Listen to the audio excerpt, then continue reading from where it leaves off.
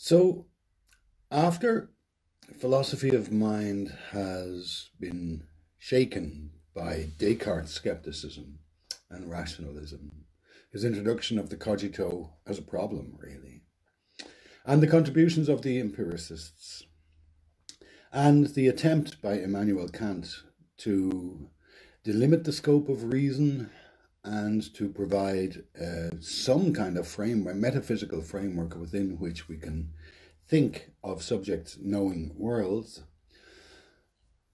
The space of possible approaches to describing human experience, human behavior, human being in the world gets much larger, much more organized in some respects. We noted the contrast between representational and non representational approaches, both of which appear as valid continuations of uh, the questions raised by Kant. Um, I'm just looking forward to the present situation. Here are just some of the many, many positions in contemporary cognitive science that are available. At the top left, we've got substance dualism. The red circle there makes a is supposed to stand for the, the, the mind, the cogito, which is separate from the person.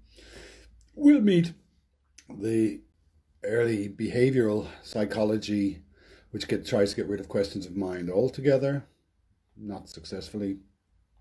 We'll meet various theories about the relationship of brains and bodies to minds. We'll meet identity theory, in which mind is considered to be the same thing as the activity of a brain. We'll meet functionalism, in which the relationship between what we observe and brains is more complex, but nevertheless, the brain is the central organ. We'll meet eliminativism, which seeks to do, again, to do away with psychological talk, mental talk, um, in favor of neuroscientific explanation, um, a form of disenchantment. That's a rather extreme position.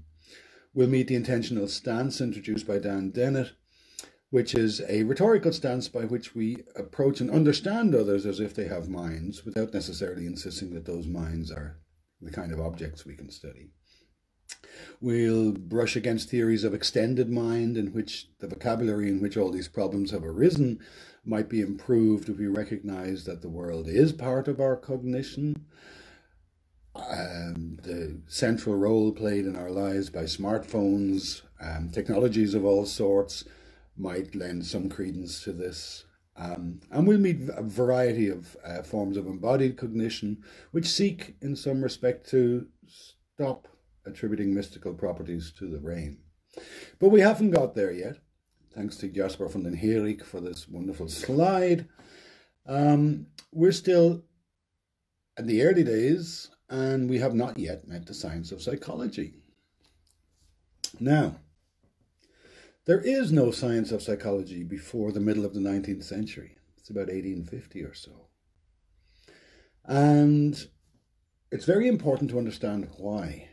We noted that when we encountered Descartes, we had to worry about the theologians and religious authorities, institutional religion, was um, still under coming to terms with its relationship to the natural sciences until the middle of the 19th century, it was not safe to put forward a scientific theory of the soul. Um, Charles Darwin is the probably the biggest influence here. The biggest change came about when Darwin's theory of evolution made it clear that we are animals. We belong in the natural order. We are not demigods. We're familiar with that insight now, but it's it's a very, very big change to see us in that way.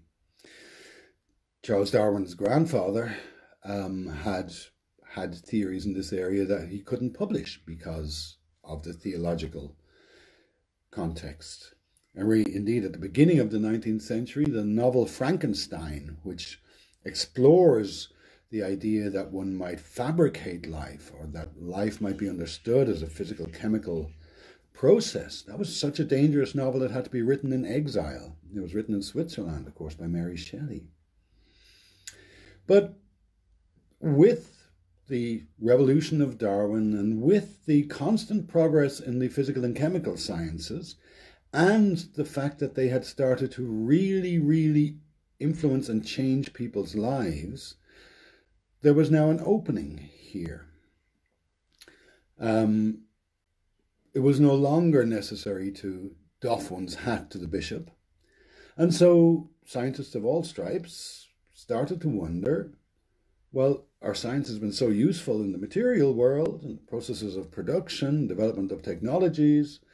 Why not apply it to the study of the human condition? So, again, let's let's let's make ourselves aware of the history of this. So, we've got Descartes, Newton, Kant. We've we've seen them and several others there.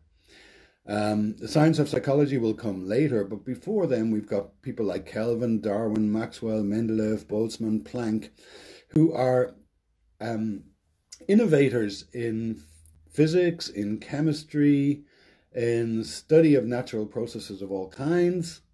Uh, new theories are giving rise to um, new practices of work. The whole fundamental nature of society is being reorganized through the Industrial Revolution. Um, and so science is paying off, if you like, in spades. And so only after all that is it possible to begin to develop a science of psychology. So the names uh, William James, Wundt, Fechner, Dewey, these are the first psychologists, if you like, and they come in the latter half of the 19th century. There's a little overview, if you like, and I've stretched it all the way back to Martin Luther and all somewhat vainly all the way up to myself just to show you that human lives are actually quite long and the history of science is actually quite short. There's very little distance between us and the Protestant Reformation. And all these changes that we've mentioned have happened in a very short period of time.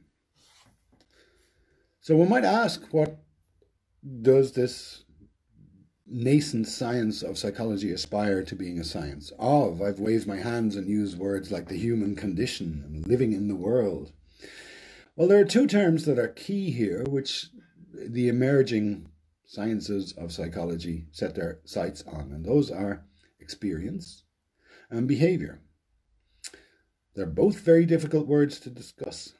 Experience seems straightforward, and we don't mean the things that happen to you, we mean they're happening to you in which you you when we speak of first person experience that which you experience the if you like the all the questions of what it is to be conscious arise here. But there's a separate track which is trying to understand why people do what they do um, what is it that influences behavior how are behaviors learned modified acquired extinguished and these are not the same question, but they are two poles of the concerns of the emerging science of psychology. Before we embark on that to see how this science came together, it's worth noting that psychology as a field is much older than scientific psychology. psychology arises out of concerns, out of, out of an attitude towards others, an attitude of care. It arises because we want to take care of each other. Psychology still plays this role. We have counseling, clinical psychology, and any number of self help magazines. So it is originally soteriological. That means it's taking care of the person. That is a role normally or hitherto played by priests. This is, makes it clear why even with the advent of modern fMRI machines and electrodes and mad science stuff, we still see a lot of psychology aimed at providing advice to people. Notice chemists don't do that. Chemists do not provide advice on how to live your life. And when chemists are interviewed on the radio, they don't revert to a breathy tone like this, as psychologists are wont to do. Now, all this, this rooting in concern, but now becoming a science, that raises certain problems. We obviously need stories to tell about who we are. We need ways to understand ourselves. But unlike when we're doing chemistry, we are not disinterested observers. And so the very notion of objectivity itself, which you may have thought was a simple notion, now becomes something we need to consider carefully. Objectivity turns out to be a very complex notion. And as we're pursuing the development of scientific psychology, we will be aware that this is a response, a particular response to a broad range of questions, and it's always embedded in the science of its time.